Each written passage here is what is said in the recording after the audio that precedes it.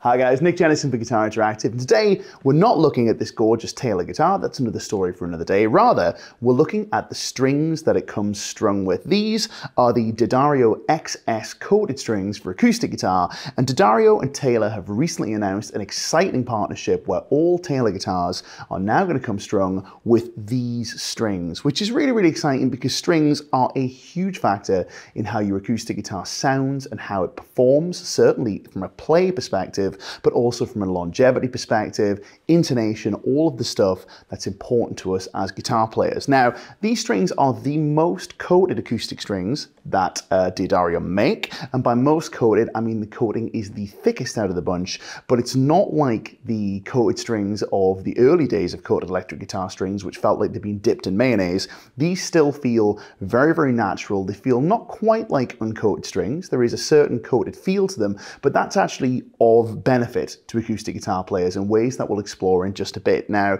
the higher end D'Addario string range includes the uh, NYXLs, which are uncoated but use these premium materials. Now these premium materials carry over into the XT, which are a lightly coated range of strings, and the XS, which are the most coated of the bunch. Now these ones are phosphor bronze, but they're also available in 80-20 bronze in a variety of gauges. We have a set of 12s on this guitar today. Before we go any further, I want to take a quick second to talk about one of the benefits of coated strings, which is reduction in string squeak. Now in the intro, you heard that this guitar still sounds very bright and very vibrant across its entire dynamic range. Even though we tuned the low string down, it still sounds very projecting and very powerful, but the highs are still sparkly. Even all the way up the fretboard, we get that great intonation, we get that lovely consistent tone. Let's do a slightly more delicate example, and for this, I'm going to play very, very softly with some fingerstyle chords, but I'm going to deliberately slide with my fingers on the strings. And what you'll notice is I am notorious for these string squeaks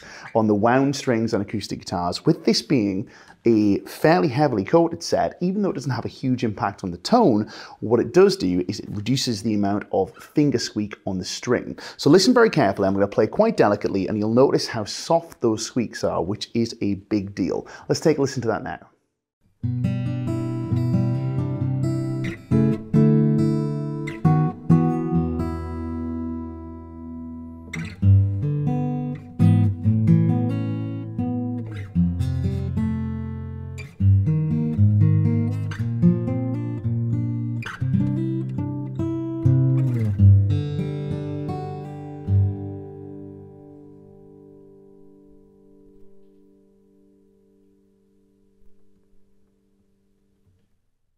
Now, another big factor when it comes to selecting strings for your guitar is string life. And these strings purport to have the maximum life of any D'Addario set.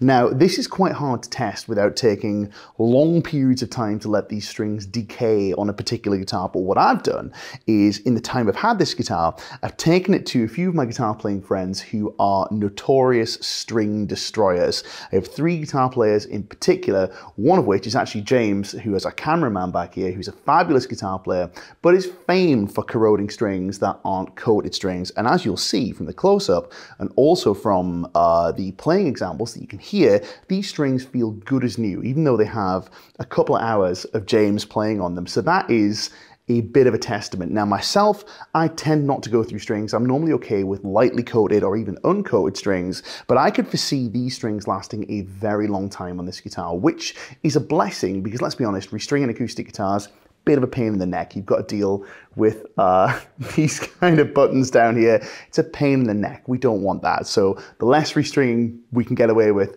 the better. What I'll also say is I've made no effort to break these strings in. They've been put on new. I haven't stretched anything or any of that, but they've bedded in almost instantly, which is something we've come to expect from D'Addario's NYXL strings. And remember, this, use, this set rather uses the same core material and the same plain string material as the NYXL. So it is that high quality, higher strength or uh, purer carbon steel, I think they refer to it as.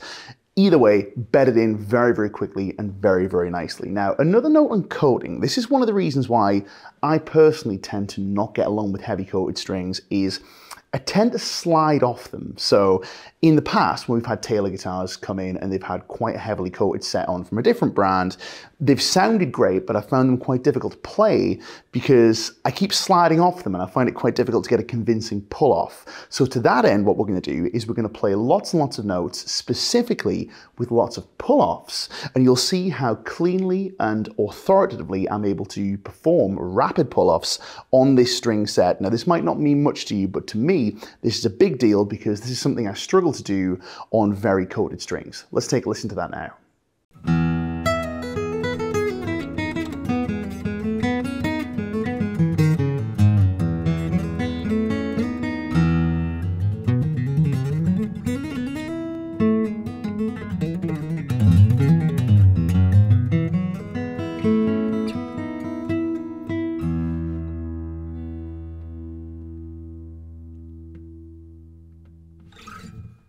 Now, one final criticism that often gets leveled at coated strings versus uncoated strings is a reduction in sustain, particularly on wound strings. And I think this is something, this is just a, a, pet theory that I have, but I think it's something to do with the way the strings are made. And I think a lot of strings where they've been made by another manufacturer and maybe uh, dipped or coated after the fact, it can kind of clog up the winds a little bit, and sometimes that can contribute to that overly smooth, flat wound type feel that I personally struggle with. And it can also, I think, think, at least, contribute to reducing sustain in the same way that getting dirt in between the windings can. But it is my knowledge, at least, that D'Addario are making these in a slightly different fashion that kind of ameliorates that as being a problem. So what we're going to do here is we're going to do a sustain test on the low E string. I'm going to ring that out, and I'm going to play some single notes up and down the B string, and we'll see how long I can keep playing for with the E string still ringing. So let's do that sustain test now.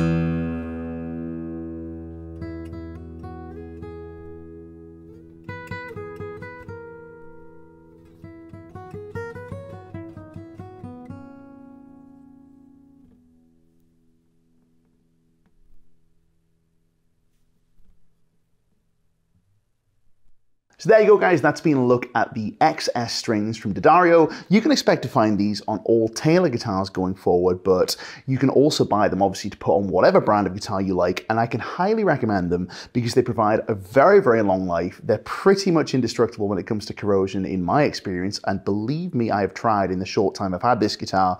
They also bed in almost instantly, which removes some of the pain of string changing, also reduces how often we have to change strings, but most importantly, they sound sound great, they feel really, really good. They also reduce a little bit of string drag, so they're nice and quick to play, and they reduce string squeaks. They have a huge dynamic range, sustained for a very long time. Everything we expect from uncoated D'Addario strings, but with the addition of the coating and all of the benefits that come along with that. So once again, this is the XS acoustic string set from D'Addario, available in a bunch of gauges, a couple of materials.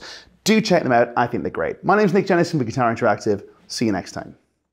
Hi guys, it's Nick again, just filming this on my phone. It's been about a month since we shot the review that you've just watched, but uh, I'm returning this guitar to the guys over at D'Addario. It's been sat in its case ever since we, uh, we shot the review, but look at this. These strings, despite having been played and then put away to sit in a case for a month, bear in mind James has played these as well, and James is not kind to strings, they are